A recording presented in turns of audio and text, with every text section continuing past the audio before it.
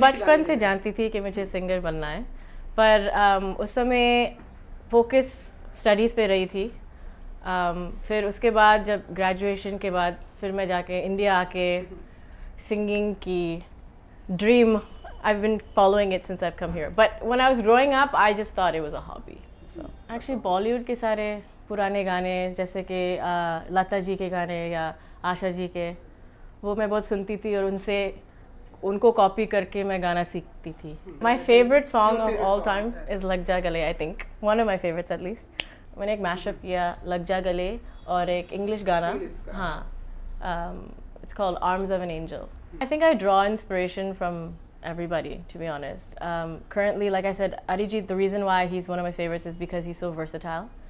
And my goal is to be become the most versatile female singer. So that's what I put most stress on.